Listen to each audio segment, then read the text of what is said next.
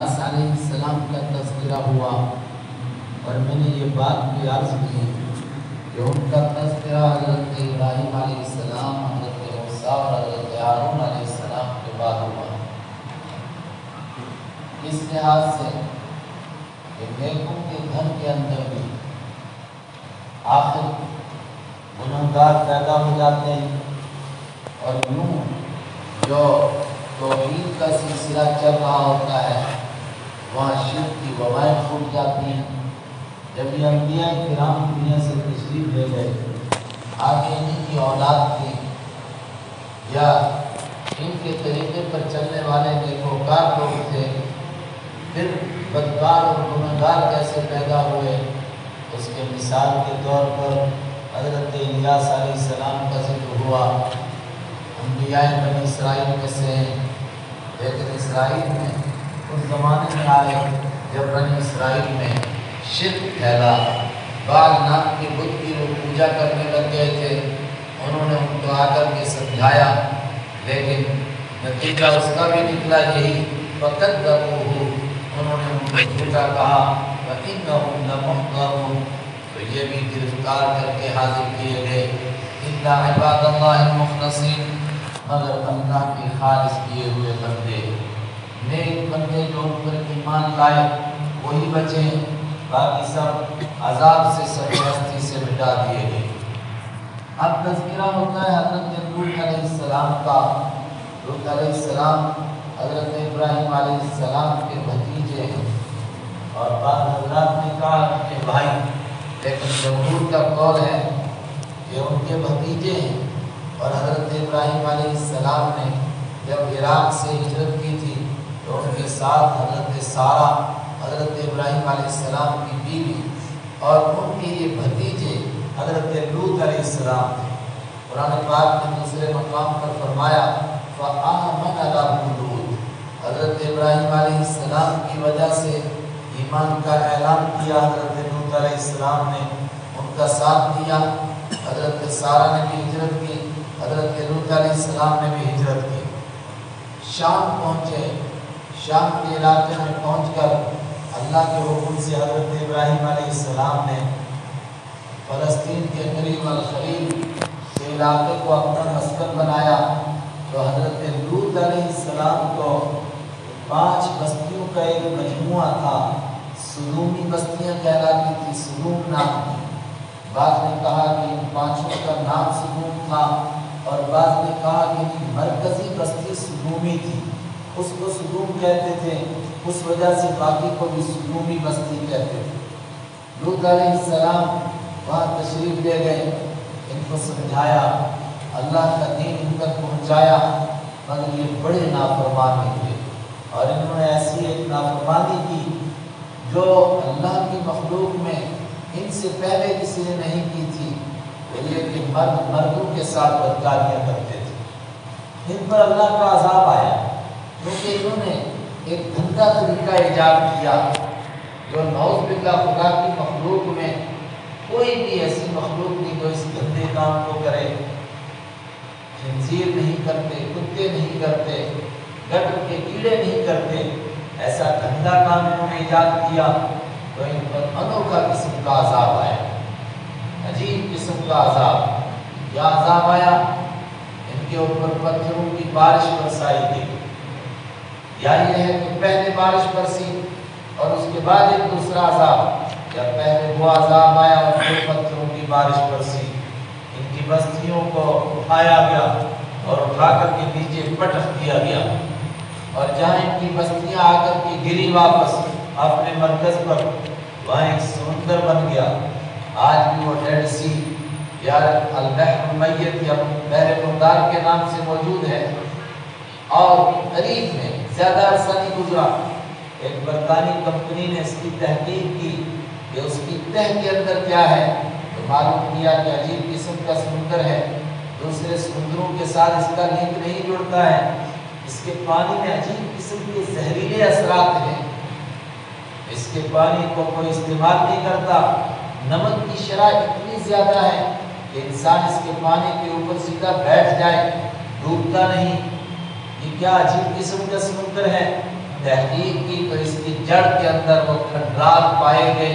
इससे मालूम होता है कि बहुत बड़ा शहर था, जो अल्लाह के आजाब से बहरे मुर्दार में तब्दील हो गया। और ये पुराने पाक, और कुरान से पहले तौरात में भी ये किस्सा मौजूद था। ये कुरान की आसमानी किताबों की सदाकत की दलील है। हज़रत सलाम की कश्ती के लिए भी पुराने पाक ने कहा वतरकना अलैहिम हमने उनके ऊपर एक निशानी छोड़ी बाद वालों के लिए। वो देखेंगे, उससे लोगों ने कहा कि मुमकिन है कि वो कश्ती भी लोगों को क़यामत से पहले नज़र आए। और हज़रत अब्दुल्ला बिन अब्बास रज़ी अल्लाह ताला की तरफ़ से एक रिवायत है कि इस उम्मत के एक तबके ने उस कश्ती के तख्तों को देखा है। और मुमकिन है कि वो पूरी कश्ती ही नज़र आ जाए, अल्लाह आलम। और बेशक हज़रत लूत अलैहिस्सलाम न मिनल मुरसलीन। ज़रूर व ज़रूर, वो भी अल्लाह के भेजे हुए पैगंबरों में थे, अल्लाह के भेजे हुए रसूलों में थे। इतना जैना हो याद करो जब हमने उनको नजात दी, व आहला और उनके घर वालों को भी नजात दी, अजमाइन सब के सब। ये कितना खतरनाक अजाब आया। और आया भी अल्लाह ताला की अजीब कुदरत के साथ। अल्लाह ताला ने चंद फरिश्तों को भेजा जवान लड़कों की शक्ल में। वो हज़रत लूत अलैहिस्सलाम से मिले। सूर्य हूद में गुजरा है। हज़रत लूत अलैहिस्सलाम को देखकर परेशान हो गए। सी अभी वजा कभी उनकी वजह से तंग हो गए। दिल परेशान हो गया। क्यों? अगर इनको न घर ले जाऊँ तो ये बेमुरबती है। ये अजनबी किस्म के मेहमान मिले और उनको खाने की दावत भी नहीं दी। और अगर ले जाऊँ तो कौम कम वक्त है। आखिर फैसला किया, उनको घर ले गए। और कौम को उनकी बीवी ने इतला दी इस तरह के मेहमान हज़रत लूत सलाम के घर में आए हैं। उस बदबख्त कौम ने हज़रत लूत सलाम के घर पर हमला कर दिया। लूत सलाम ने उनको समझाया और एक मौके पर फरमाया अफसोस, क्या तुमने कोई एक भी समझदार आदमी नहीं है कि जो दूसरों को समझा सके? उन्होंने कहा, अवलम नन्हा कान हमने तुझे दुनिया भर की ठेकेदारी से मना नहीं किया था? सारी दुनिया की दावतें करते फिरता है तुझे किसने कहा इनकी दावत करने के लिए? अल्लाह अकबर। कैसा गंदा जहन था उनका। उस मौके पर जब हज़रत लूत के घर पर इन्होंने हमला कर दिया। तो लूत की ज़ुबान से अजीब जुमला निकला। ए काश, मेरे पास कोई ताकत होती, मैं इनका मुकाबला करता। ए काश, मेरी कोई खानदानी ताकत होती। इस तरह रसूल अकरम सल्लल्लाहु अलैहि वसल्लम का खानदान बनु हाशिम था। ईमान नहीं लाया था, लेकिन आपका साथ दे रहा था। तो मैं इन कम वक्त लोगों का मुकाबला करता, मगर मेरे पास दोनों ताकतें नहीं। उस वक्त परवरदिगार के हुक्म से फरिश्तों ने कहा, आप घबराए नहीं। हम तेरे रब के रसूल हैं, भेजे हुए हैं। ये क्या करेंगे? जितने लोग सामने आए थे, वो सब के सब यक बयक अंधे हो गए। और अंधे भी कैसे कि आँखों के निशान ही मिट गए। और बाकी लोगों पर वो अजाब आया। इस अजाब के बावजूद परवरदिगार ने नेक लोगों को अलग किया। जब अल्लाह की तरफ़ से ये उमूमी अजाब आता है, एक तो है कि कौम को समझाने के लिए थोड़े झटके लगते हैं। जिस तरह हज़रत मूसा सलाम फिरौनियों के बीच में मौजूद थे अगर उसके बावजूद अरसल तूफ़ान वल जरार उनके ऊपर ये अजाब आए, तूफ़ान आया चिचड़ी का अजाब आया, झूठ का अजाब आया खुद का अजाब आया। ये तो थोड़ा डराने के लिए थे। लेकिन वो अजाब जो काफिरों को मेद करने के लिए आता है, उस अजाब से ईमान वालों को बचाया जाता है। ईमान वालों को पहले ही वहाँ से निकाल दिया जाता है। इतना जैना हो, याद करो जब हमने लूत सलाम को भी नजात दी। वह हो, और उनके घर वालों को भी नजात दी। और वो जब बात ऊपर कुरान पाक ने कही थी हज़रत इब्राहिम सलाम और इसहाक सलाम और इस्माइल सलाम की औलाद में मिनहुम ज़ालिमुन लिनफ्सिही मिनहुम मिन ज़ुर्रियतिही मा उनकी औलाद में से कुछ नेकोकार भी हैं व ज़ालिमुन लिनफ्सिही मुबीन मगर कुछ अपने ऊपर जुल्म करने वाले भी हैं। सिर्फ़ हज़रत मूसा सलाम की औलाद में हो गए। इस वजह से वो नेकोकार है, ऐसा कुछ नहीं है। नेकोकारों के घर में भी अगर कोई उनकी सोच पर नहीं होगा तो वो गुनहगार, बदकार, बल्कि काफिर होगा। आखिर अबू लहब भी तो हुजूर का सका चाचा था। चुनाचे यहाँ भी यही हुआ। उनके सारे घर वालों को निजात मिली, लेकिन उनकी अपनी बीवी, वो उन लोगों में शामिल थी जिन पर खुदा का आज़ाद होगा। क्यों? इसलिए कि जिस तरह इब्राहिम अलैहिस्सलाम को घर की तरफ़ से ये तकलीफ़ थी, ये बाप ईमान नहीं लाया था। नू सलाम को घर की तरफ़ से ये आजमाइश थी बेटा ईमान नहीं लाया था। लूत सलाम को भी ये घर की तरफ़ से आजमाइश थी, बीवी ईमान नहीं लाई थी। हमने बचाया नजैना उनको भी वह और उनके घर वालों को भी। अजमाइन सब के सबको, सब बचाए गए। और जब नबी के घर वाले कहा जाता है तो उसमें ईमान वाले भी शामिल होते हैं। कुरान पाक का अंदाज यही बताता है कि उनके घर वाले उनके बच्चे होंगे, हो सकता है कोई दूसरी बीवी भी हो, बेटे भी हों, बेटियाँ भी हों और ईमान वाले भी होंगे। उन सबको अल्लाह ने नजात अता फरमाई। अलबत्ता बाइबल का बयान ये है कि हज़रत लूत की दो ही बेटियाँ थी। लेकिन आगे जो बाइबल का किस्सा है, वो तो दिल को दहला देने वाला है। उससे दिल खुद गवाही देता है कि ऐसा ही हवाई बयान है। ये नौज बिल्ला, कोई सच्ची बात नहीं बयान हुई है। की गंदी बात क्या है? कि नौज बिल्ला ये दो ही बेटियाँ थी, मगर वो भी बाप के साथ बदकारी करी ऐसी गंदी बात है। एक आदमी मेरे पास आया, कहने लगा कि आप बताइए पादी साहब। कहने लगे कि कुर्बान इसहाक अलैहिस्सलाम हुए थे कि इस्माइल अलैहिस्सलाम।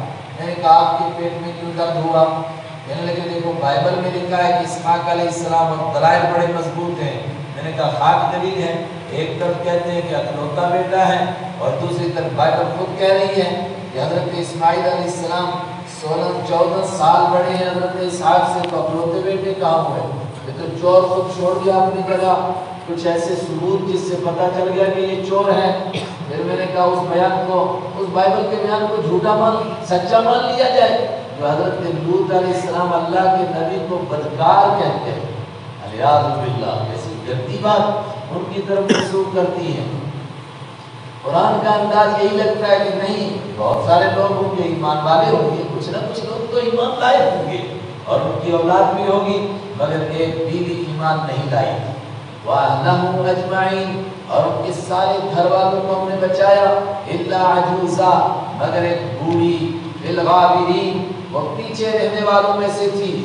पीछे रहने का ये मतलब भी है जब सुबह को हज़रत लूत सलाम को हुक्म हुआ कि कुछ सुबह का वक्त बाकी रहे, सुबह को होने में तो आप ईमान वालों को और घर वालों को लेकर के निकल जाएँ। और हज़रत लूत सलाम की कैफियत को देखकर कुरान ने कहा करीब आप इतने परेशान क्यों हैं क्या सुबह दूर है, सुबह तो करीब है, अभी नंबर आ जाएगा इनका। हज़रत लूत अलैहिस्सलाम जब इन सबको लेकर के निकले तो कुरान पाक ने कहा कि आप उनके पीछे पीछे चलिए और इनमें से कोई पीछे मुड़ करके ना देखे। आप सारे गुजर के पीछे सूर्य हिजर में पीछे मुड़कर कोई ना देखे और आप इनके पीछे रहें। तो बाज ने कहा कि बीवी यहाँ से साथ ही नहीं गई। उसने कहा कि मुझे इसकी ज़रूरत नहीं है, मैं यहाँ ठीक हूँ। और बाज ने कहा कि गई थी लेकिन हर कदम के ऊपर पलट कर देखती वाह कौमा मेरी कौम का क्या हाल हुआ? जो मेरी सोच के लोग थे, उनका क्या बना? उसी बीच में एक पत्थर उसके सर में भी आकर के लगा और उसका काम भी तमाम हुआ। हिंदा अजूजा, मगर एक बूढ़ी फिलगाबिरी बहुत ही पीछे रहने वालों में से। तुमका दम मरन आखिरी तुमका दम मरन आखिरी फिर बाद वालों को हमने तहस तहस कर दिया। दम मार के माना जड़ को खत्म करना, उनकी कोई नस्ल ही बाकी नहीं रही, कुछ बाकी नहीं रहा सब के सबको गर्म कर दिया गया। आसमान से ऐसे उस बस्ती को उठा करके वापस गिराया गया कि आज भी उसके नक्शे से, समुंदर से ऐसा लगता है जैसे गुना हुआ आटा हो और उसमें कोई ज़ोर से पत्थर मारे तो साइडों से आटा आगे हो जाता है। बिल्कुल ऐसा लगता है कि ऊपर से गिराया गया है। और मैंने कहा, अभी हमने नहीं बरतानवी कंपनी ने उसकी तहकीक की और उसने कहा कि इसके नीचे किसी बहुत बड़े शहर के खंडरात हैं। दम बाद वालों को हमने तहस नहस कर दिया। ये तुमको किस्सा क्यों सुनाया गया? मक्का वालों, तुम्हें क्या सुनाया जा रहा है? क्या तुम इसको सुनते नहीं हो? या ये वाक्य तुमने नहीं सुने? बल्कि तुम देखते नहीं हो? ज़रूर देखते थे। मक्का वाले साल में कम से कम एक सफ़र ज़रूर फलस्तीन का करते थे। उनके यहाँ तजारत के लिए दो सफ़र होते थे, एक यमन का और एक फलस्तीन का, शाम का सफ़र होता था। और जब सफ़र करते थे तो ये जो कुछ पुराने पाक बयान कर रहा है, ये सब उनके रास्ते में आता था। हज़रत हूद अलैहिस्सलाम की कौम का इलाका, हज़रत साले की कौम का इलाका, हज़रत अलैहिस्सलाम की कौम का इलाका और फिर आखिर में हज़रत लूत अलैहिस्सलाम की कौम का ये बर्बाद इलाका, जो बाद में बहरे पुरदार बन गया, इसके किनारे से वो गुजरते थे। और मक्का वालों, तुम ज़रूर भी ज़रूर गुजरते हो अलैहिम, उनके ऊपर। मुस्बिहीना, सुबह करते हुए भी व बिल्लैल और रात के वक्त में भी यहाँ से गुजरते हो तो जब भी नाफरमानों के इलाकों को तबाह होता हुआ देखो, उनके खंडरात को देखो तो ईमान का तकाजा क्या है?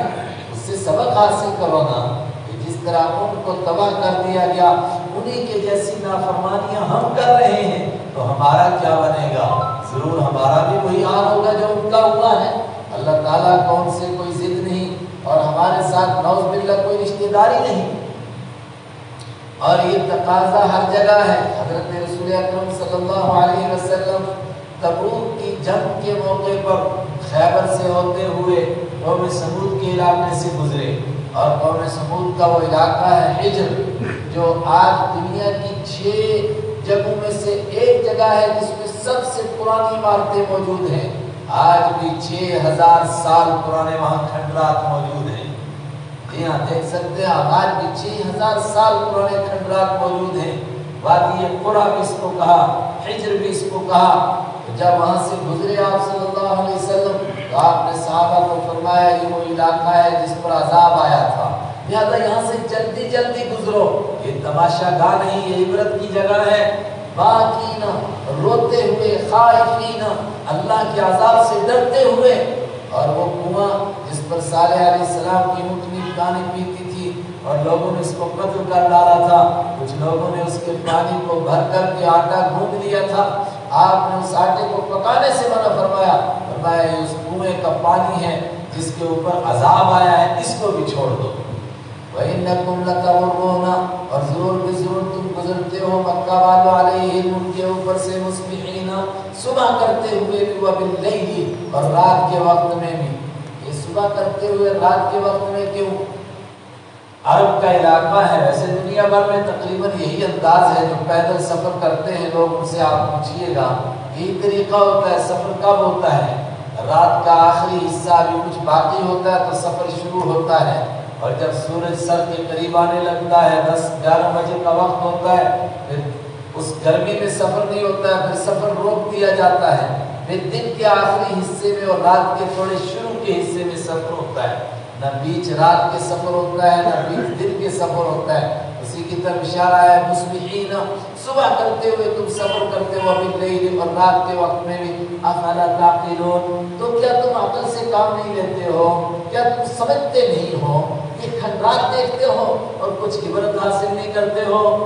आज हमारे मुल्क में कितने खंडरात हैं और बताया जाता है, ये फला का किला और ये फला का किला है। मगर आज हम अपने किले बनाते हैं और कभी नहीं सोचते हैं कि इन किले वालों का क्या हुआ, हम भी सोचें हमारा भी कल क्या होगा और एक वाक्य सुने वही और हज़रत सलाम भी अल्लाह के भेजे हुए पैम्बरों में से थे।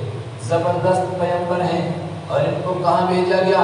वही इलाका जहाँ हज़रत आए थे, इराक का इलाका। जहाँ हज़रत इब्राहिम तशरीफ़ लाए थे इराक का इलाका। उसी के इलाका मुस्लिम में कहा जाता है कि नूह अलैहिस्सलाम का मरकज था। उसी के इलाका खुर में कहा जाता है कि हज़रत इब्राहिम अलैहिस्सलाम तशरीफ़ लाए। और उसी के शहर नैनवा में, जिसकी अब सिर्फ़ खंडरात है, शहर बाकी नहीं है, उस नैनवा शहर में हज़रत यूनुस तशरीफ़ लाए।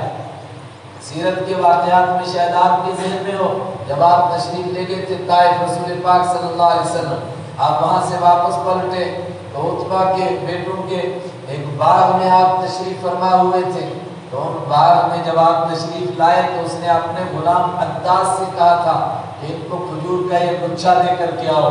उसने खजूर का गुच्छा दिया आपने बिस्मिल्लाह करके उठाया। उसने कहा कि ये बिस्मिल्लाह तो बड़ी अजीब चीज़ देख रहा हूँ मैं। यहाँ तो मुशरकों का इलाका है, यहाँ तो कभी मैंने बिस्मिल्लाह नहीं सुनी। तो आपने पूछा, तुम कहाँ के हो?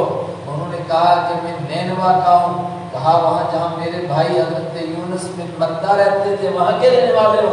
उसने कहा, आप कैसे जानते हैं यूनुस बिन मत्ता कौन फरमाया, वो मेरे भाई थे, इसलिए कि मैं भी अल्लाह का भेजा हुआ पैगंबर हूँ और यूनुस सलाम भी अल्लाह के भेजे हुए पैगंबर थे।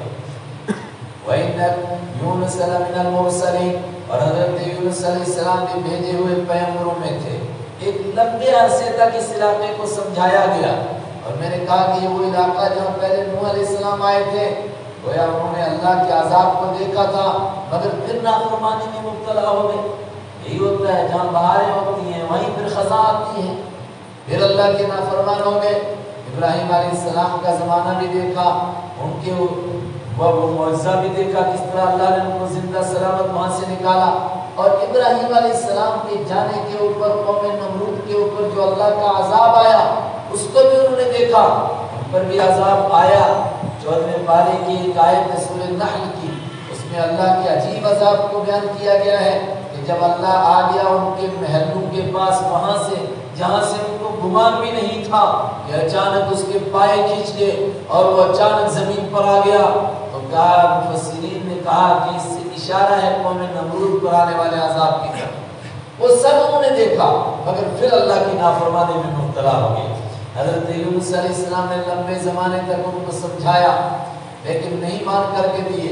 जब उन्होंने नहीं माना तो अल्लाह के हुक्म के मुताबिक हज़रत यूनुसलाम ने फरमाया, तीन दिन के अंदर अंदर अजाब आने वाला है। आगे दो किस्म की रिवायतें तफसीर में। ये कि फिर हज़रत यूनुसलाम ने ये सोच करके कि बस अब तो अजाब आया ही चाहता है। तो निकल पड़े बस्ती से। हालाँकि अभी उनको निकलने का हुक्म नहीं आया था।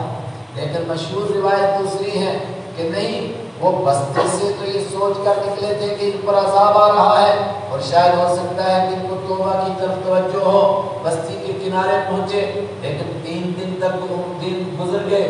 देखा कि अजाब तो अभी तक नहीं आया तो वो घबरा गए। कि मेरे से बात कहने में या समझने में कोई गलती तो नहीं हुई है?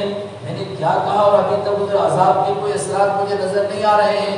तो अभी अल्लाह की तरफ़ से हुक्म नहीं आया था यहाँ से निकलने का अगर उन्होंने सोचा कि मुझे बस्ती से निकल जाना चाहिए।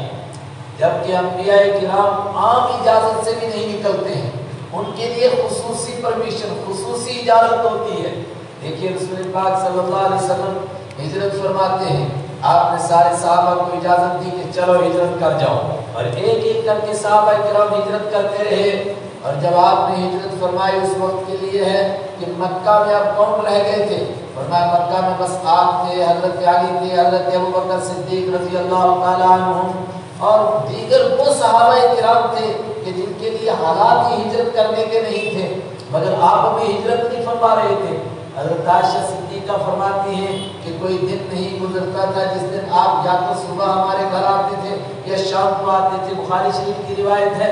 लेकिन एक दिन अचानक दोपहर को आए तो सब घबरा गए कि कोई मामला पेश आ गया है। दोपहर में तो वहाँ जिस तरह हम बारह बजे रात को नहीं निकलते, इस तरह वो दिन में नहीं निकलते सख्त गर्मी होती है। तो आपने हज़रत अबूबकर सिद्दीक से फरमाया कि कोई हो दूसरे गैर मुतालिक लोगों को बाहर निकाल दो। उनसे कोई ख़ास बात करनी है। तो उन्होंने अर्ज़ किया कि यहाँ तो आपकी बीवी हज़रत आयशा सिद्दीक़ा हैं और यह फुला हैं। इनसे कोई घबराहट की बात नहीं है। आप फरमाएँ, आपने फरमाया मुझे हज़रत की इजाज़त मिल चुकी है। हज़रत अबू बकर सिद्दीक ने उसी मौके पर फरमाया, क्या मुझे रिफाकत का मौका मिलेगा? तो आपने फरमाया, जी, तुमको भी रिफाकत का मौका मिलेगा। हज़रत आयशा फरमाती हैं, मैंने पहली मरतबा देखा कि इंसान की खुशी में भी आँसू निकल जाते हैं। हज़रत अबू बकर की खुशी में आँसू निकल गए कि मैं हुजूर के साथ जाऊँगा। हज़रत उमर हज़रत उस्मान बड़े बड़े साहब किराम तशरीफ़ ले गए, हिजरत हो चुकी है। मगर हज़रत अबू बकर सिद्दीक आपके साथ तशरीफ़ ले जाएँगे। ये आपको अलग से इजाज़त मिली। हज़रत यूनुसलाम चले गए। तो इसको नौज बिल्ला ये नहीं हम कह सकते कि उन्होंने गुनाह कर दिया, जल्दबाजी से काम किया बस मामूली सी एक लफ्जिश हुई जो उनके मर्तबे के एतबार से लफ्जिश थी, वरना हमारे एतबार से कोई लफ्जिश नहीं थी, उम्मत के एतबार से, उनके मरतबे के एतबार से तो उस पर भी गिरफ्त आ जाती है अल्लाह की तरफ़ से। जिनके मरतबे होते हैं ऊँचे, उनकी गिरफ्त भी मामूली बातों पर हो जाती है। ये सोच करके कि अल्लाह का अजाब बस आया ही चाहता है, अभी तक नहीं आया, बस्ती से चले गए। आगे वो वाक्य पेश आया जिसको पुराने पाक ने बयान किया कि चलते हुए फिर किसी बड़े दरिया को या किसी बड़े समुद्र को पार करना था, जिसके लिए कश्ती की ज़रूरत थी। अक्सर लोगों ने कहा कि यही जो बगदाद में इराक में दरिया बहते हैं, फुरात होगा दजला होगा, इनमें से कोई होगा। दूसरे लोगों ने कहा अंदाज पुराने पाक का लगता है, उससे लगता है कि नहीं, ये नहीं। इससे भी कोई बड़ा या तो समुद्र है या दरिया है या कोई आबनाई तंग है, जैसे खलीज फारिस वगैरह, इस तरह की किसी को क्रॉस करना था वहाँ कश्ती की ज़रूरत थी। जब कश्ती पर बैठे तो अजीब मसला पेश आया क्या कश्ती बीच समुद्र के जाकर के हजकोले लेने लग गई और कश्ती वालों ने मुख्तलिफ़ रिवायतें हैं। एक रिवायत यह है कि कश्ती वालों ने कहा कि हमारी कश्ती तभी हजकोले लेती है जब इसमें कोई भगोड़ा गुलाम बैठता है। और मशहूर रिवायत यह है कि कश्ती वालों ने कहा कि वज़न ज़्यादा हो गया है, एक आदमी को उतारना पड़ेगा। तो किसको उतारे? कहा कुरान अंदाजी कर लेते हैं। तो कुरान अंदाजी की तो बार बार पूरा हज़रत इस्लाम के नाम पर निकलता है। और लोग उनकी शक्ल सूरत को देख करके शर्मिंदा है। ऐसे आदमी को हम कश्ती से उठा करके समुद्र में फेंक दें। लेकिन उन्होंने फरमाया कि नहीं मेरे नाम पर ही निकलेगा। और बाद में कहा, जो वो कहा था ना, भगोड़े गुलाम की वजह से कश्ती हजको ले लेती है तो उन्होंने खुद ही कहा कि बेशक सही है मेरे नाम पर पूरा निकला है, मैं ही भगोड़ा गुलाम ये सब तफसीरी रिवायतें हैं, जो भी कुछ हुआ आखिर उनको कश्ती से उतार करके समुद्र में फेंक दिया गया। और बाद तफसीरों ने इससे पहले अजीब वाक़ आया है कि वो अपनी अहलिया को लेकर के और दो बच्चों को लेकर भी साथ जा रहे थे। सबसे पहले एक मकाम आया, जहाँ पर एक बच्चे को कंधे पर रखा और एक को इधर बिठा दिया, कहा इसको पार छोड़कर आता हूँ दरिया से फिर तुझे ले जाऊँगा। तो बीच दरिया के पहुँचे तो यानी ज़्यादा आई और बेटे ने मुड़कर पीछे देखा और कहा, अबू भैया को भेड़िया ले गया। और जो मुड़कर यूँ देखा तो ये कंधे वाला भी नीचे गिर गया और उसको भेड़िया लेकर के चला गया। और फिर बीबी रह गई, साथ उनको लेकर जा रहे थे। रास्ते में अजीब किस्म के कुछ लोग आए उन्होंने कहा, यह जगह और उनको खाने जा रहा है? उन्होंने उसको भी छीन लिया। ये तफसीरों में लिखा है। तो बिल्कुल खाली हो गए, बड़ा अजीब किस्म का इम्तिहान। आगे समुद्र में फेंक दिए गए। लेकिन समुद्र में एक बड़ी मछली ने उनको निगल लिया। इतनी बड़ी मछली जो इंसानों से ज़्यादा बड़ी बड़ी चीज़ों को निगल लेती आज भी ऐसी मछलियाँ हैं। उन्होंने उनको निकल लिया। बुखारी की हदीस है। हज़रत रसूल अकरम सल्लल्लाहु अलैहि वसल्लम ने एक लश्कर हज़रत अब्दुल्ला बिन जहश रज़ी अल्लाह तआला की सरदारी में भेजा तो रास्ते में उनके लिए कई हालात पेश आए। पहले तो उनका खाना खत्म हो गया, फिर उसके बाद वो एक समुद्र के किनारे पहुँचे। वहाँ अल्लाह ने उनको समुद्र के किनारे मछली, समुद्र की तुगयानी से आ गई। मगर मछली कितनी बड़ी थी? अट्ठारह दिन तीन सौ लोग उसको खाते रहे वो खत्म नहीं हुई। और बाद में वो जो हम मछली का कांटा निकालते हैं ना, मछली की पसली होती है असल में तो उसकी दो पसलियों को जो जोड़कर ऐसे खड़ा किया तो ऊँट के ऊपर सवार बैठा और उसके नीचे से निकल गया और सर भी नहीं लगा उसकी पसली के साथ। इतनी बड़ी मछली होगी। मालूम है, इतनी बड़ी मछलियाँ हो सकती हैं। मछली ने अपने पेट में ले लिया, लेकिन अल्लाह की तरफ़ से हुक्म आया कि ये तेरी खुराक नहीं है, ये मेरी अमानत है। देखिए कुरान पाक क्या कह रहा है? इन यूनुस, और बेशक हज़रत यूनुस अलैहि सलाम का मिनल मुरसलीन, ज़रूर ज़रूर वो भी भेजे हुए में से थे। इन अबका, याद करो कि जब वो भागे, और ये खास तौर से लफ्ज इस्तेमाल होता है गुलाम के भागने का, और सारे के सारे बंदे अल्लाह के गुलाम हैं अम्बिया किराम भी इसके गुलाम हैं तो गोया अपनी इजाज़त के बगैर निकले थे, इसलिए लफ्ज आया अबका, भगोड़े गुलाम की तरह भागे। मशहून भाग करके कहाँ गए कहाँ बैठे? एक भरी हुई कश्ती के अंदर बैठे। फसा हमा तो कश्ती वालों ने पूरा अंदाजी की। मिनल तो हज़रत यूनुस सलाम हो गए मिनल धक्का दिए हुए लोगों में से, शिकस्त खाए हुए लोगों में से, हारे हुए लोगों में से, उन्हीं के नाम पर पूरा निकला और उनको आखिर समुद्र में फेंकना पड़ा। फल तक तो लुकमा बना लिया उनको, अलहूत, एक बड़ी मछली ने, हूत, बड़ी मछली। बहुआ मुनीम और वही मलामत ज़्यादा थे। यानी इसका इल्ज़ाम किसी पर नहीं आ रहा था। न वो खुद सोचते थे कि मेरे साथ ज्यादती हुई है। क्यों? बीवी भी छिन गई, बच्चे भी छिन गए तफसीरी रिवायतों के मुताबिक, और मुझे मछली ने लुकमा बना लिया। समझते थे कि मुझसे एक लर्जिश हो गई है। अगर मुझको लुकमा बनाया है कि तो ये कोई गलत बात नहीं है, वह हुआ मुनीम और वो मलामत ज़दा थे, खुद अपने आप को साहिब मलामत समझते थे। कुरान पाक बयान क्यों करना चाहता है ये बात?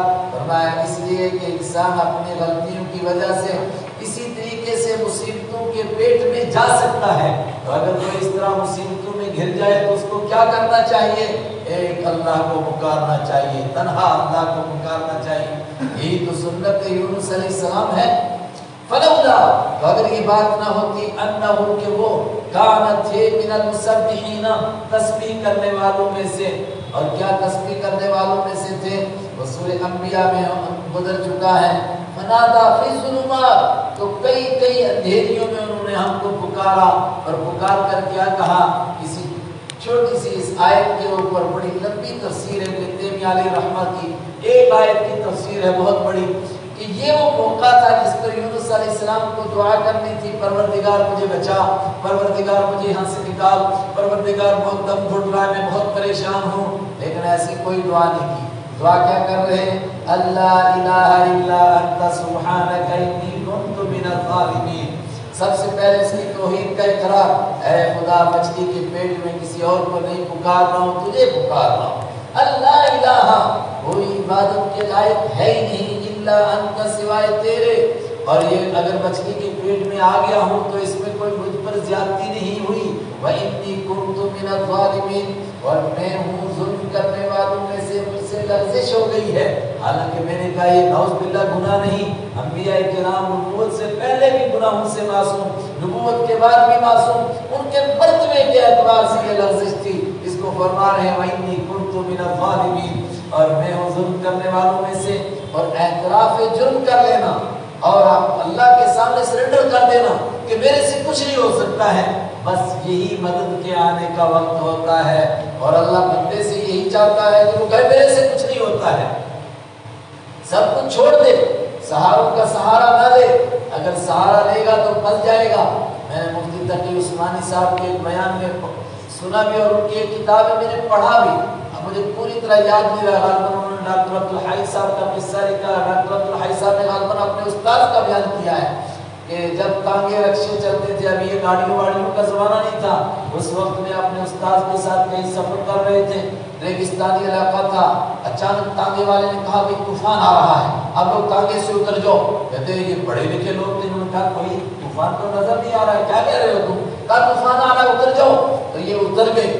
तो एक बड़ा सा दरख्त था, उसके नीचे खड़े हो गए। उन्होंने कहा दरख्त के नीचे मत खड़े हो जाओ, बल्कि रेत में अपने आप को गिरा दो। लेट जाओ इस रेत की नाली में। तो रेत की नाली में भी लेटे थे तो अजीब तूफ़ान आया। अजीब किस्म का तूफ़ान। और तूफ़ान रेगिस्तान में आता है। आप लोग सऊदी में सफ़र करते हैं, जो निचला रास्ता है ना, जो बदल से होता हुआ जाता है, उसमें जगह जगह बोर्ड देखना लगे हुए हैं। आप रेतीले तूफ़ान के इलाके की जद में है। किसी वक्त भी तूफ़ान आ सकता है। वो तो इधर से रेत उठती है, इधर पहाड़ बन जाता है। उधर से कभी उठती है, इधर गाड़ियों को उठाकर फेंक देती है। तो अजीब किस्म का तूफ़ान आया है लेट गए। तो कुछ देर के बाद तूफ़ान चला गया। तो तांगे वाला उठा और उसने कहा, शुक्र करो, खुदा का घोड़ा भी बच गया। तांगा भी बच गया। उसने तांगा उलट दिया था, घोड़ा खोल दिया था। उसके बाद उसने कहा कि वो जो दरख्त आप लोग इसके नीचे खड़े हो रहे थे, देखो उसका क्या हाल है। वो तो तूफ़ान की वजह से कहीं दूर पड़ा हुआ था। आज जब तूफ़ान आता है, फिर ये दरख्तों को नहीं छोड़ता है। उसके बाद उनके उस्ताद ने शागिर्द से कहा कि कुछ समझे। कहा, क्या समझे? कहा, देखो, पहली बात हम ये गौर करो, ये समझे कि किसी न किसी को अपना रहबर मानो और उसकी बात मान लिया करो।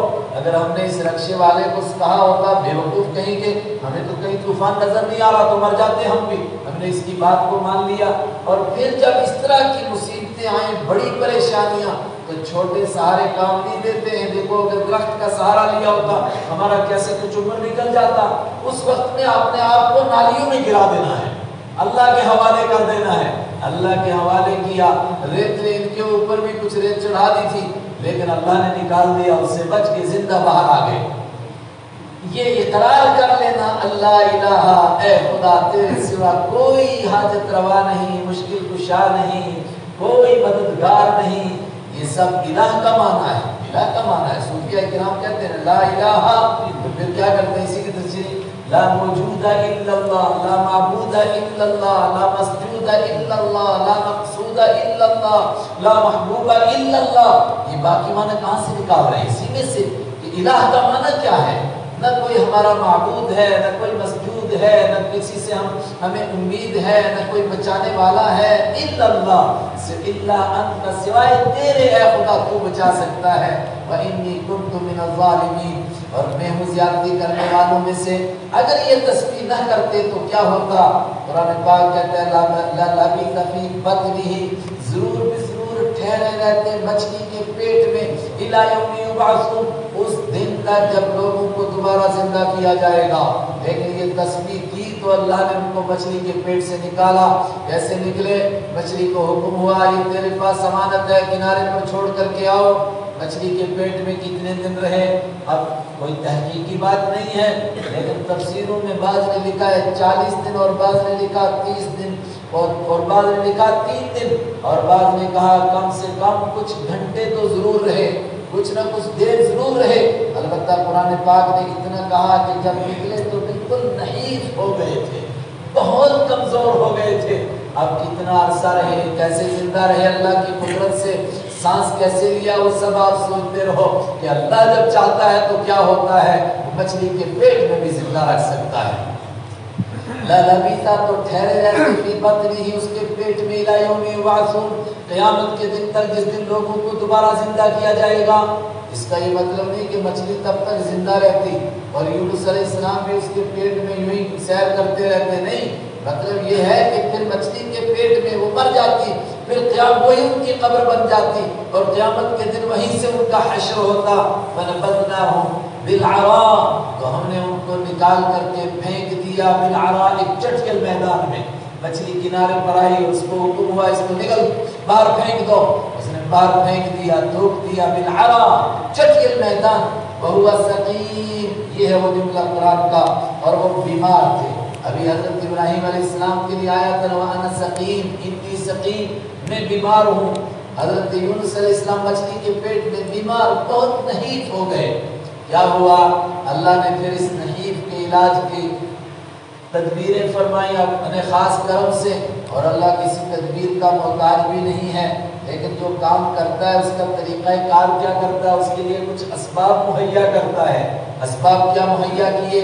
वो अम्बत नाली शजरतम यकीन और उगाया हमने आले उन पर शजरत शजरतन दरख्त यकीन यकीन का दरख्त उगाया। यकीन किसको कहते हैं? यकीन कहते हैं वो लाल किस्म के बड़े कद्दू, गोल वाला बड़ा कद्दू इसको हमारे यहाँ पिट्ठा कहते हैं, कश्मीरी कोशर आलू। वो वो बेल उगा दी अल्लाह ताला ने उसके ऊपर।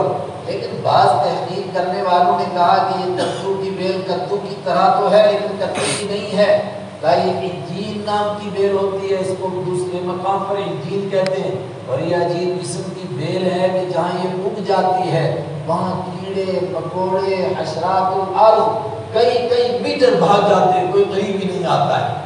ये उगा दी उसके ऊपर उसके अंदर ये ताकत है कि उसके साय से बीमार को सेहत मिल जाती है।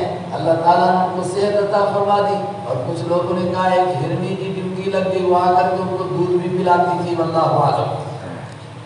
चुनाचे सेहतमंद हो गए। उधर कौम का क्या हाल हुआ बस यूनुस में गुजरा। फरमाया, कोई कौम आज तक आदम अलैहिस्सलाम की औलाद में ऐसी नहीं गुजरी कि जिसके ऊपर अजाब के असरात आ गए हों और उन्होंने तोबा की हो और फिर अजाब हट गया हो। इल्ला कौम यूनुस, सिवाय हज़रत यूनुस अलैहिस्सलाम की कौम के। अलैहिस्सलाम की कौम का क्या हुआ? जब उन्होंने कहा कि तीन दिन में अजाब आने वाला है तो कौम घबरा गए पहले दिन देखा भाई यूनुस कहाँ है? लोगों ने कहा, वो तो है नहीं। कहा, है नहीं तो इसका मतलब अजाब आने वाला है। लोग घबरा गए कि भाई, वाकई अजाब आएगा। कुछ घबराए हुए तो थे, मगर तीसरे दिन अजाब आया बादलों की शक्ल में। और बादल, काले काले बादल ऐसे आए कि उनके घरों को, उनकी बस्ती को घेर लिया। वो घबरा गए। और कैसे उन्होंने तोबा की? वो तफसीरों में आता है कि उन्होंने ऐसी तोबा की, अपने जानवरों को भी साथ लिया, बीवी बच्चों को भी साथ लिया। एक खुले हुए मैदान में गए और वहाँ जाकर के ऐसे रोए ऐसे रोए अल्लाह के सामने कि उनके रोने को देख करके जानवरों को रोना आ गया। और खाली रोए नहीं, बल्कि जिसने जो जो किस कोई जुल्म और ज्यादती की थी, वो सब उसका मदावा किया। यहाँ तक कि किसी ने किसी के दरख्त से, खेत से दरख्त चोरी करके काटा था और अपने मकान में लगाया था, उसने अपने मकान से निकाल करके कहा, यार, मैंने तेरा दरख्त चोरी किया हुआ था। जिसने जो जो ज्यादती की थी, उन तमाम से तोबा की। और जब उन्होंने सच्चे दिल से तौबा की क्योंकि अभी अजाब आया नहीं था, आने के बाद नहीं जाता, जरा से असरात आए थे तो वो असरात भी अल्लाह ताला ने हटा दिए। उनको आप तलाश में कि यूनुस अलैहिस्सलाम को तलाश करो। यूनुस अलैहिस्सलाम कहीं मिल नहीं रहे हैं, लेकिन जब इधर सेहतमंद हुए तो परवरदिगार ने हुक्म दिया और हमने भेजा हज़रत यूनुस अलैहिस्सलाम को वापस। अक्सर का यही है कि उसी कौम के पास वापस गए। बात कहते हैं, आप दूसरों के पास गए जमहूर यही कहते हैं, उसी कौम के पास दोबारा अल्लाह ताला ने उनको भेजा, और कौम कितनी थी? इला मियातिन। एक, इला मियाति अल्फिन। एक लाख लोगों की तरफ़ हमने उनको भेजा अब यजीदून। बल्कि उससे भी कुछ ज़्यादा लोगों की तरफ़ भेजा। एक लाख अब यजीदून। या उससे भी कुछ ज़्यादा। या नहीं। अरबी मुहावरे में इसका माना होता है, बल्कि लाख से भी कुछ ज़्यादा। और बाइबल की रिवायत है, एक लाख बीस हज़ार लोग थे। और उस दौर के लिहाज से उस शहर की बहुत बड़ी आबादी थी। समझो कि उस वक्त में दिल्ली बम्बे में भी ऐसी कोई आबादी नहीं थी। अब तो आबादी का दौर है, उस वक्त में इतने लोग, एक लाख बीस हज़ार लोग एक ही बस्ती में। और सब के सब ईमान ले आए, सबने तोबा की। अल्लाह कश्मीरी रहमतुल्लाह अलैह ने लिखा है, तीन कौमों के लिए, कि ये तीन कौमें मिलती हैं जो सब की सब ईमान इकट्ठी लाई वरना हमें कोई ऐसी कौम नहीं मिलती है कि जो सारी ईमान लाई हो। कुछ ईमान लाते, कुछ वैसे रहते हैं हर कौम में देखो हम जिस जिस जिसकी जो जो बिरादरी है तो आधी बिरादरी उधर है, आधी बिरादरी इधर है। पीछे दिल्ली किसी शादी की तकरीब में गया तो उन्होंने हमारी बिरादरी, कसाना बिरादरी के बारे बड़ी बड़ी पूछे बड़े खुश हुए हमारी बिरादरी का बंदा, मगर नाम वीरान प्रचार कोई किसी का, कोई नाम, कोई किसी का। तो कोई बिरादरी पूरी ईमान लाई हो ऐसा नहीं है। लेकिन तीन बिरादरियाँ था एक तो यूनुस अलैहिस्सलाम की पूरी कौम ईमान लाई एक हज़रत रहमत आलम सल्लल्लाहु अलैहि वसल्लम जजीरतुल अरब में आए। चंद लोग जो अकड़ गए थे सामने वो मारे गए, बाकी सारे के सारे ईमान लाए। और तीसरा शाह साहब ने लिखा है, तुर्कों के लिए और अफगानों के लिए। ये भी जब ईमान लाए तो सारे के सारे ईमान लाए। इस पर बाद लोगों ने कहा कि इसमें फिर भी इक्का दुक्का काफिर रहे। लेकिन हुक्म तो अक्सरियत का होता है। तो हमने भेजा उनको आते अल्फिन। एक लाख लोगों की तरफ़। एक सौ हज़ार एक सौ हज़ार कितने होंगे? एक लाख लोग। और यजीदून, बल्कि उससे भी ज़्यादा। फिर क्या हुआ? फामनु सब के सब ईमान ले आए। फबत्ताना फबत्तानाहुम तो हमने उनको ज़िंदगी गुजारने का सामान दिया। इलाहीन, एक मुद्दत तक, एक मुद्दत तक वो ज़िंदा रहे। फिर उनकी औलादों में नाफरमान पैदा हुए।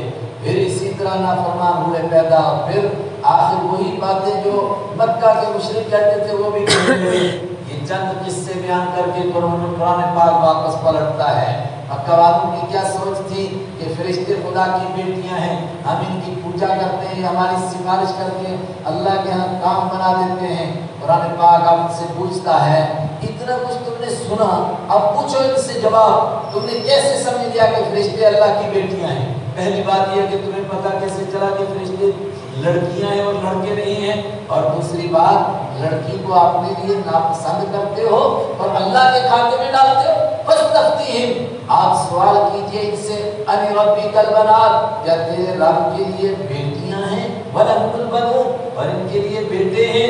मतलब अरब के लोग बेटियों से नफरत करते थे और बेटों को पसंद करते थे। बेटी का मसला उनके यहाँ क्या था? भैया खुशराहतुमसा जब उनमें से किसी को बेटी की खुशखबरी दी जाती थी तो क्या करता था? मुस्बद्दा पूरे दिन उसका मुँह काला रहता था और वह कजीन और वो घुटता रहता था। ये तबारा वो छुपता रहता था।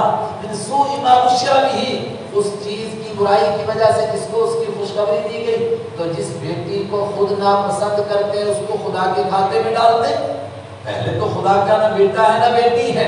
लेकिन कुछ तो अकल से काम लो कि जिसको अपने लिए नहीं पसंद करते, उसको अल्लाह ताला के खाते में डालते हो। वस्तफ्तीहिम आप इनसे सवाल कीजिए अरे रब्बी कल बना क्या तेरे रब के लिए बेटियाँ हैं? बना मुझ बनूं और इनके लिए बेटे, अपने लिए बेटे और अल्लाह के लिए बेटियाँ। दूसरा सवाल, जो असल सवाल है, पहले ये बताओ कि तुम्हें ये कैसे पता चला कि फरिश्ते लड़कियाँ हैं और लड़के नहीं हैं? अल्फाज के एतबार से कहीं उसके लिए मुजक्कर का लफ्ज बोलते हैं, कहीं मोहनस का लफ्ज। लेकिन हकीकत में उनमें से कोई मोहनस है, लड़की है, ये तुमको कैसे पता चला कि ये खुदा की बेटियाँ हैं?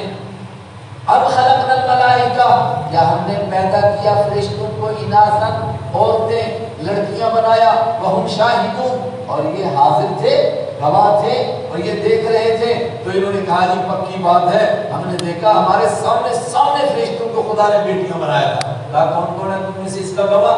कोई एक भी गवाह नहीं, किसी बेहुदा बात कह रहे हो। अला इन्नहुम मिन इफ्किहिम ला यक़ूलून अला, सुनो, इन्नहुम बेशक ये ऐसे लोग हैं, मिन इफ्किहिम, अपने झूठ की वजह से। और मैं पीछे भी बता चुका आलिफतन आलिहतन कल बताया था। इफ़ और सूर्य नूर में भी लफ्ज आ रहा है, इफ़ इसके माने क्या है? झूठ नहीं, बिल्कुल सुफेद झूठ, बेसरोपा जिसका कोई ठिकाना ना हो। बेशक अला सुनो इन्नहुम बेशक ये मिन इफ्किहिम, अपने निरे झूठ की वजह से ला यक़ूलूना, ये बातें कहते हैं कि नौज बिल्ला खुदा की बेटियाँ हैं। खुदा का ना कोई बेटा है, ना उसकी कोई बेटी है। क्या कहते हैं? वलद अल्लाह कि अल्लाह ने जाना है। अल्लाह ने औलाद बनाई है। कुछ कहते हैं बेटे बनाए हैं, कुछ कहते हैं बेटियाँ बनाए हैं।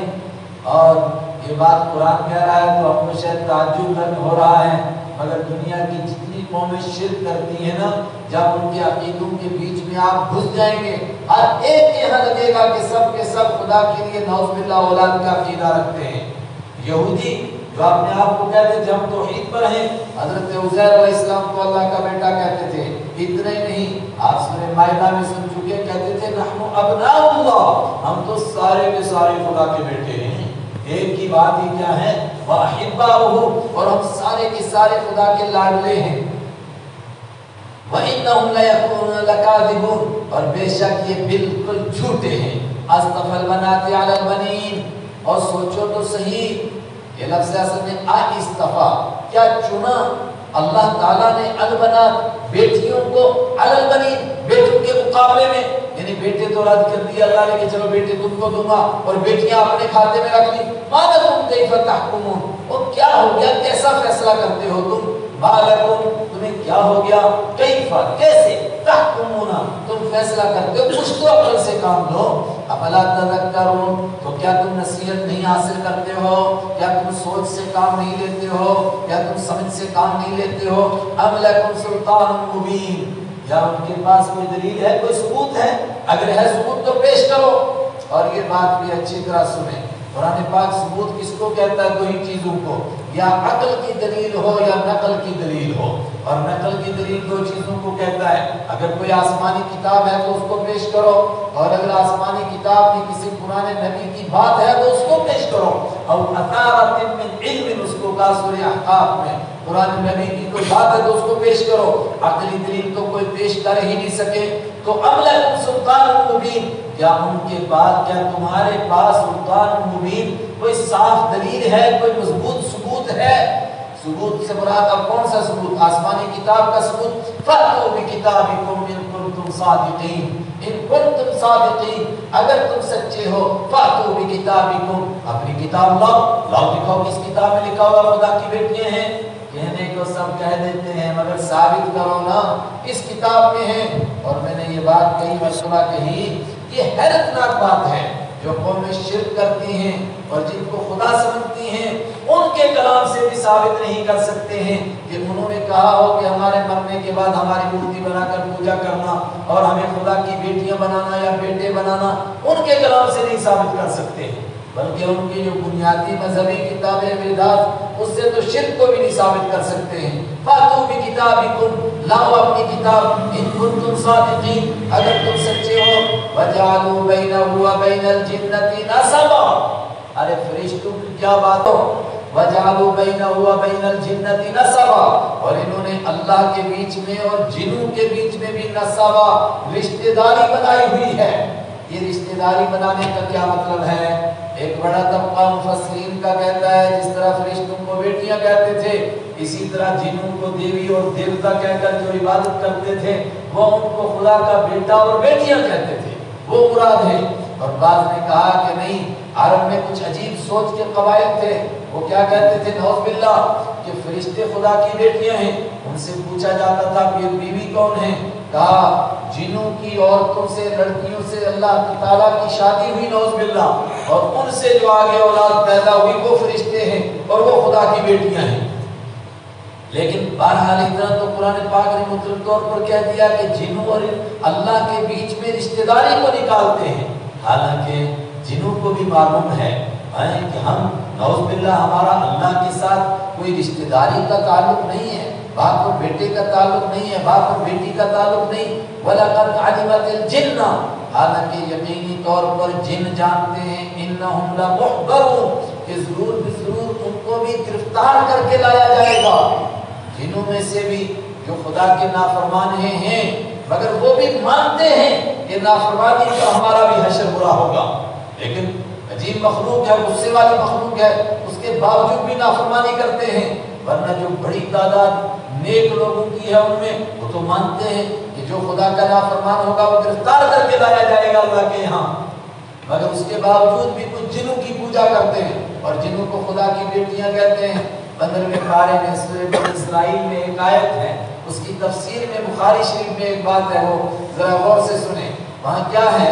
आयत तो ये है कि ये पूजा करते हैं उनकी जो खुद अल्लाह के यहाँ स्वाली बन करके खड़े हैं और वो अल्लाह से उसके अजाब से बचने के लिए पनाह मांगते हैं और ये उनकी पूजा कर रहे हैं। उसमें बुखारी शरीफ में रिवायत है ये कि एक कबीला था जिनों का ताइफ और मक्का के बीच में ये वहाँ जाकर के बकरे काट काट काट के डालते थे, दरख्तों की एक जड़ में और कहते थे कि ये जिनों के नाम पर हम डालते हैं।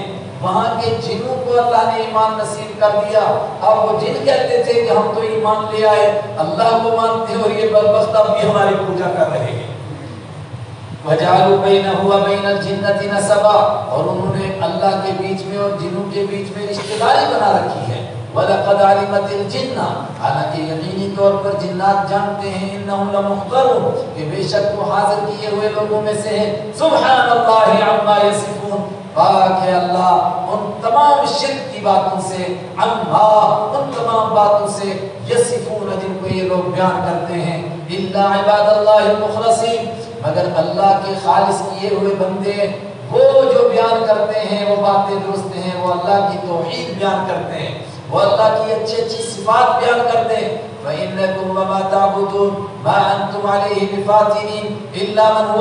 जहीम एक बड़ी अहम बात, इस तरह जब शिरक का दौरा चल रहा है कि कोई फरिश्तों को खुदा की बेटियाँ बना करके शिरक करवा रहा है, कोई जिनों को देवी और देवते बना करके शिरक करवा रहा है, और कोई पता नहीं कैसे कैसे करवा रहा है तो फिर तो कोई शिरक से बचेगा ही नहीं। अल्लाह ताला ने फरमाया, कोई नहीं, सब बचेंगे। शिरक कौन करेगा? फरमाया, जिसको जहन्नम में जाना है, वो जाएगा। बाकी सारी दुनिया के शयातीन इकट्ठे हो जाएँ और सारी दुनिया के इंसान इकट्ठे हो जाएँ और जिनकी पूजा करते वो भी आ जाएँ और सारे मिलकर के सिर्फ़ अकेले एक आदमी को गुमराह करना चाहें। मगर वो हिदायत पर रहना चाहता हो और अल्लाह उसको अपने कर्म से हिदायत पर रखना चाहे तो ये उसको गुमराह नहीं कर सकते। बड़ी ज़बरदस्त बात है। बेशक तुम है शिरक करने वालों सारी दुनिया के मुशरकों और जिनकी तुम पूजा करते हो, वो भी सारे इकट्ठे हो जाओ। मा अंतुम, नहीं हो तुम। अलैहि अल्लाह के मुकाबले में किसी को फितने में मुब्तला करने वाले यानी गुमराह करने वाले, किसी को नहीं गुमराह कर सकते, किसी को नहीं फितने में मुब्तला कर सकते, शिरक में मुबतला कर सकते। किसको करोगे? इल्ला मन हुवा सालिल जहीम। मगर उस आदमी को जो जहन्नम में घुसने वाला है, जो खुद ही जाना चाहता है जहन्नम में, वही गुमराह होगा। वरना जितने बड़ा डिपार्टमेंट भी फैल जाए, उससे कुछ नहीं होता है। और तुम फरिश्तों को कहते हो, ये खुदा की बेटियाँ हैं। अगर नौजबिल्ला फरिश्ते अल्लाह के बेटे और बेटियाँ होंगे और अल्लाह के साथ उनका ऐसा ताल्लुक होगा तो वो अल्लाह के सामने सब पस्ता खड़े होंगे और उसके हुक्मों के मुंतजर और उसके हुक्म के बने हुए, जो हुक्म को देता है उसके ऊपर वो अमल करेंगे। बेटी तो इस तरह नहीं करती है, बाप और बेटी का ये ताल्लुक होता है, सूरज का आवाज़ कहाँ से होगा? वसाफाति सफ़ा वजाजिराति जजरा वदादियाति जिक्रा, इन्ना इलाहकुम लवाहिद वो सब लगा कर खड़े होने वाले फरिश्ते और अल्लाह के हुक्म से नाफरमानों को डांटने वाले। उसी डांटने में वो है अल्लाह सही है तो वाहिदा। एक ही चीख मारता है फरिश्ता, बस जिसको मरना है, वो सब के सब मर जाएँगे और क़यामत के दिन कायनात मर जाएगी। ये भी फरिश्तों का छिड़कना है। फिर वो मजमून वापस यहाँ आ रहा है। यही कुरान का कमाल है। बात यहाँ से शुरू करता है, वहीं पर खत्म करता है। अब फरिश्तों के जबान से कहवाया जा रहा है। वमा मिन्ना, और नहीं है हम में से कोई। कौन कह रहे हैं फरिश्ते? इल्ला, मगर लहू मकाम मालूम। उसके लिए मुतयन दर्जा है। मकाम मालूम है। वो हमें अपना मर्तबा मालूम है। हम अल्लाह के हुक्म के आगे बंधे हुए हैं। वो फरिश्ते जो अर्श के पास रहते हैं, हमलातुल अर्श अर्श को उठाने वाले फरिश्ते, उनके लिए भी है कि जब अल्लाह का कोई हुक्म सुनते हैं तो सबसे पहले तो बेहोश हो जाते हैं। और जब होश आती है तो क्या कहा तुम्हारे रब ने? कहा, जो भी कहा, वो दुरुस्त कहा। हम में से हर एक को अपना मकाम मालूम है, और मकाम का ये माना भी कि काम मालूम है। इसको क्या काम लगा रखा है? मसलन किसी का काम है, मारना, जान निकालना। अब उसका कोई पैर पकड़ ले, हाथ जोड़ ले कि सर, अभी थोड़ा मौका दे दो, मौका दे दो, उसको तरस आ जाए नहीं नहीं नहीं, उसको जब अल्लाह का जो हुक्म है, वो काम करना है उसको। जहाँ अल्लाह का हुक्म होगा, इजाज़त लेकर जाना, इजाज़त लेकर जाएँगे। और कुरान, हदीस से दो ही जगह इजाज़त मालूम होती है। एक, अगर मलकुल मौत इजाज़त लेकर आए तो मेरे और आप क्या कहा हज़रत मोहम्मद अरबी सल्लल्लाहु अलैहि वसल्लम के यहाँ और दूसरे मलकुल मौत अगर इजाज़त लेकर आए तो मूसा इस्लाम के पास। जब उन्होंने थप्पड़ मारा मलकुल मौत को एक आँख ही निकल गई। अगर वो भी अल्लाह के हुक्म से मौत का फरिश्ता इजाज़त लेने के लिए आया। वरना वो इजाज़त नहीं लेते हैं। जो अल्लाह का हुक्म है, उनको वही काम करना है। वहाँ अल्लाह का हुक्म था कि इजाज़त लेकर के जाओ। वमा मिन्ना, और हम में से नहीं है कोई इल्ला, मगर लहू, मकाम, मालूम। उसके लिए मुतय्यन मकाम है। व इन्ना लनहनु साफून और हम तो बेशक अल्लाह के सामने सफ बस्ता है। सफ लगा कर खड़े हैं। वसाफाती सफ़ा। वहाँ आगे बात। हम तो उसके सामने सब लगाने वाले वइन्ना और बेशक हम लनहनु ज़रूर बिजरूर हम अलबिसबिहुन तस्बीह करने वाले हैं। फतालियात जिक्रा वहाँ गुजर अल्लाह के ज़िक्र की क्या करने वाले तिलावत करने वाले हम ताकि बेटियाँ हाजत रवा मुश्किल कुशा और इबादत के लायक हो जाएँ क्या बात कर रहे हो व इनका और अब आखिरी बात अजीब बात है मक्का वाले कहा करते थे जब तक कुरान पाक नहीं आया था? और कस्में खाते थे और कुरान पाक ने इसको बार बार बयान किया हाय अफसोस तौरात यहूदियों को मिली, हमको नहीं मिली। हाय अफसोस, इंजील ईसाइयों के पास है, हमारे पास नहीं। अगर हमारे पास कोई आसमानी किताब होती अहदा, हम सबसे ज़्यादा हिदायत याफ्ता होते, लेकिन हमें कोई किताब नहीं मिली। कुरान पाक ने कहा, अब किताब आ गई, कुरान आ गया, अब तुम इसके मुनकिर बन गए। व इन कानून और बेशक ज़रूर भी ज़रूर वो लयकुलून ज़रूर कहा करते थे। अगर होता हमारे पास ज़िक्र पहले लोगों का ज़िक्र होता, नसीहत होती, उनकी तरह हमारे पास भी किताब होती। तो हम हो जाते अल्लाह ताला के खालिस किए हुए बंदे। और अब किताब मिली। इमाम अंबिया मिले तो नतीजा फकफरू भी। तो जब आप कुरान आया, हुजूर अकरम सल्लल्लाहु अलैहि वसल्लम आए तो नतीजा ये निकला, कफर इनकार कर दिया उन्होंने भी इसका यालमून अन करीब इनको पता चल जाएगा। ये बात मक्का की, सूरत मक्का के इब्तदाई दौर की है। मक्का के इब्तदाई दौर में ये कहना कि करीब इनको पता चल जाएगा मतलब तरह कौम लोग तबाह हो गई लूत अलैहिस्सलाम कामयाब हुए, इब्राहिम अलैहिस्सलाम कामयाब हुए नूह अलैहिस्सलाम कामयाब हुए, रसूल अकरम सल्लल्लाहु अलैहि वसल्लम भी कामयाब होंगे, ये नाकाम होंगे। बात बड़ी अजीब सी लगती थी तो कुरान ने ज़ोर देकर कहा वलकद सबकत कलिमतुना वलकद यकीनन सबकत पहले से तय हो चुकी है। कलिमतुना, हमारी बात मुरसलीन हमारे भेजे हुए रसूलों के लिए पहले से तय हो चुकी है बात। क्या तय हो चुकी है? रसूलों के मिशन को कोई नाकाम नहीं कर सकता है। वो कामयाब होकर रहेंगे। क्या है? इन्नहुम लहुमुल मंसूरून बेशक वो लहुम ज़रूर बेजरूर उन्हीं के लिए बात तय है। अल के वो ज़रूर बेजरूर मदद किए जाएँगे। अल्लाह की तरफ़ से इनकी मदद होगी और जब अल्लाह की तरफ़ से मदद होगी तो कोई उनको हरा सकेगा। अल्लाह की तरफ़ से मदद का मतलब अल्लाह के लश्कर आएँगे। वह इन जुंदना, और बेशक हमारा लश्कर लहुल गालिबून ज़रूर भी ज़रूर वही गालिब आने वाले हैं। उनके लिए बात तय है कि वो गालिब आ करके रहेंगे, फिर मेरे हबीब को कोई नाकाम कर सकता है? मेरे नबी सल्लल्लाहु अलैहि वसल्लम, अगर ये नहीं मानते, न माने फतवल्ला आप मुँह मोड़िए इनसे हत्ता थोड़ी सी मुद्दत के जरा इंतज़ार करो, जरा इंतज़ार करो। अभी मामला हल हो जाता है। और हुआ मामला हल। आखिर आपकी हिजरत पेश आई और हिजरत के बाद बस साठ साल गुजरे और मक्का फतह हो गया। इस तरह अल्लाह की मदद आई। वही जुंदना और बेशक हमारा लश्कर लहुम ज़रूर भी ज़रूर उनके लिए ये बात तय है। अल गालिबून वो गालिब आने वाले हैं। फतवल्ला उनसे हत्ता हीन।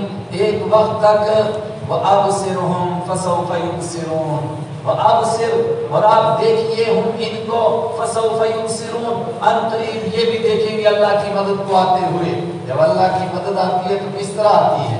अब पीछे हज़रत नूह अलैहिस्सलाम का किस्सा, इब्राहिम अलैहिस्सलाम का किस्सा, मूसा अलैहिस्सलाम हारून अलैहिस्सलाम इलियास अलैहिस्सलाम लूत अलैहिस्सलाम यूनुस अलैहिस्सलाम इन सब का किस्सा कहकर के ये बात समझाना मतलब क्या है कि देख लो, जिस तरह वहाँ मदद आई थी, इस तरह यहाँ भी मदद आकर के रहेगी। अल्लाह अकबर।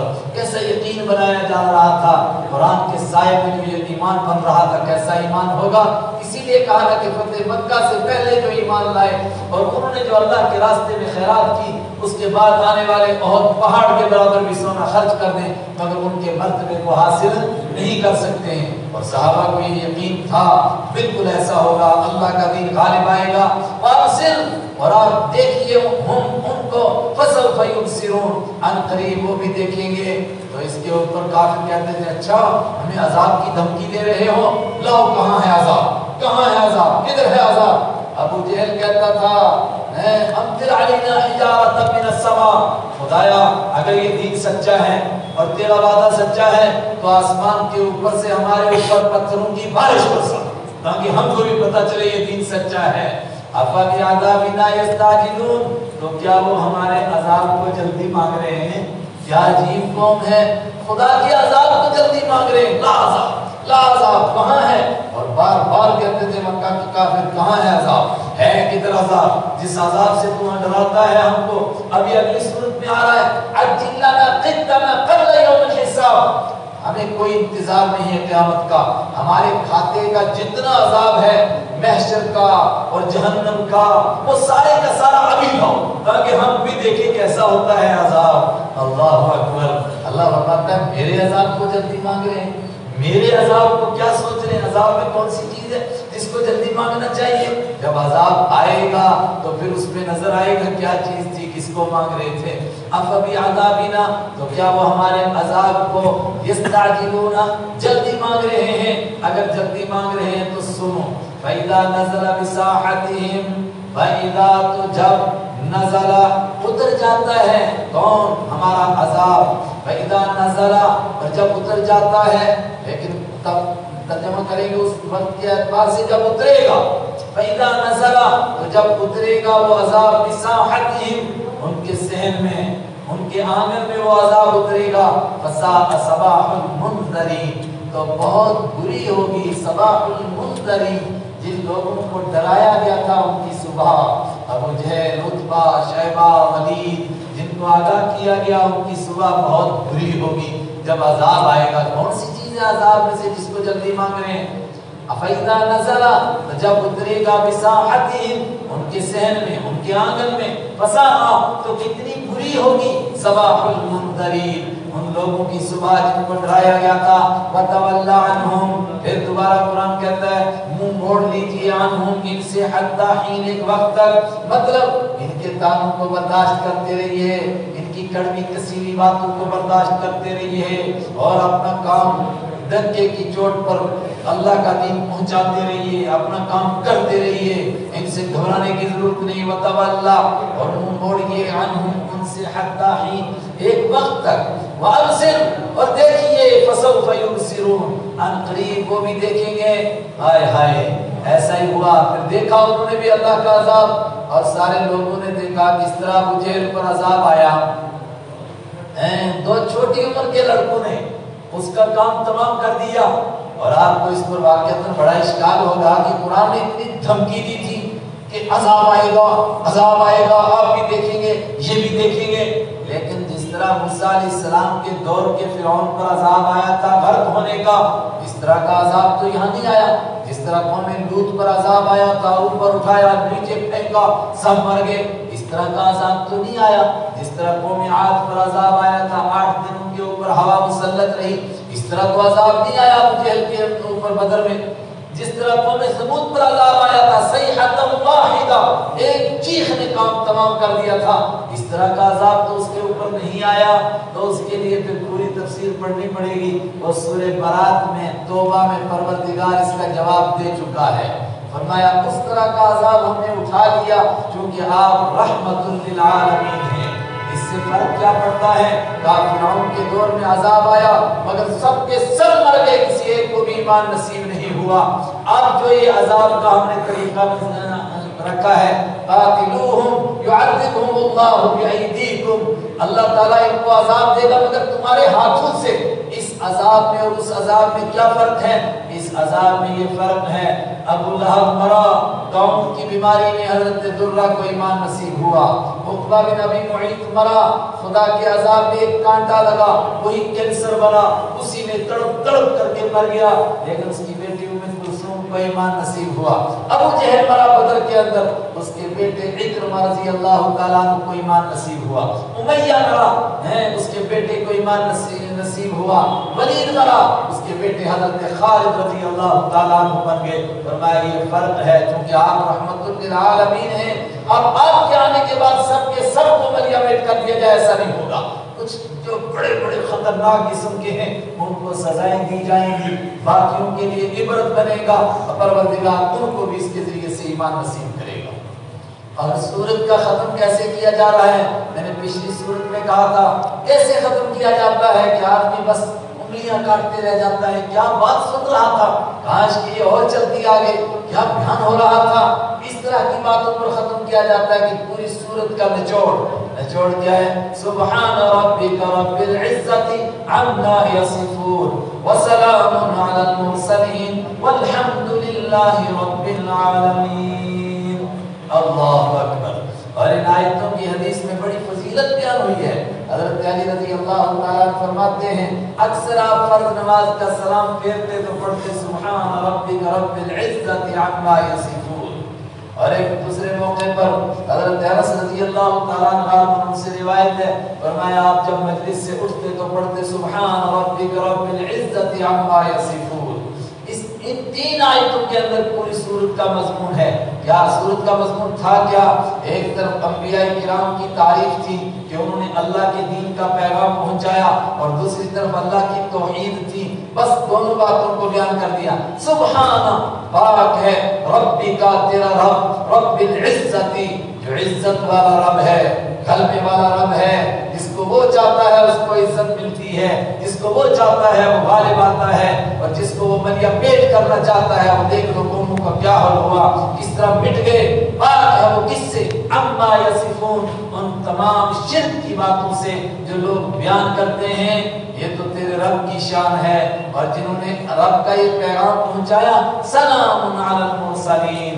और सलाम है अल्लाह की तरफ़ से उन तमाम लोगों पर, उन अंबिया किराम पर अल जो भेजे हुए थे कि उन्होंने अपने मिशन को पूरा किया, कामयाब रहे। अल्लाह की तरफ़ से उनको ये तोहफा मिल रहा है, सलाम अलल और आखिरी बात क्या है? वल्हम्दुलिल्लाहि और तमाम तारीफें अल्लाह के लिए जो जहानों का रब है कि पूरे जहान में किसी की भी तारीफ़ की जाएगी, हकीकत में तारीफ़ किसकी होगी वो? अल्लाह की होगी। शुरू में बता चुका अल्हम्दुलिल्लाह और तमाम तारीफें लिल्लाही, अल्लाह ही के लिए हैं रब्बिल आलमीन। जो सारे जहाँ का पालने वाला है, जो सारे जहाँ का मालिक है, जो सारे जहाँ का खालिक है, जो सारे जहाँ का बादशाह है, सारे माना इसी के अंदर। इन सूर्य साफात पूरी हो गई इसका निचोड़ भी एक बर्दाश्त कर देता लेकिन वक्त पूरा हुआ और मुझे लगता है मोटे तौर पर बार बार बात आई तो आपको याद होगी और कुरान ने खुद निचोड़ पैदा पेश कर दिया वसाफात से बात शुरू की और आखिर में क्या कहा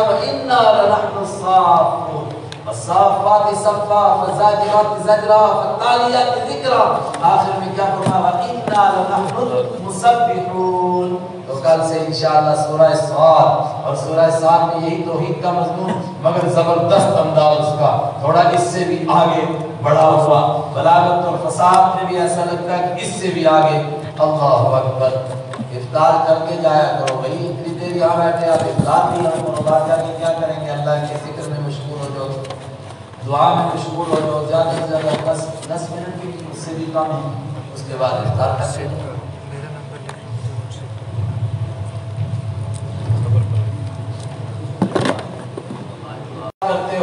कि ये मुशरिक इतने बेहुदा कि फरिश्तों को कहते हैं, खुदा की बेटियाँ हैं। अगर बेटी होगी तो बेटी की कोई माँ भी तो आगे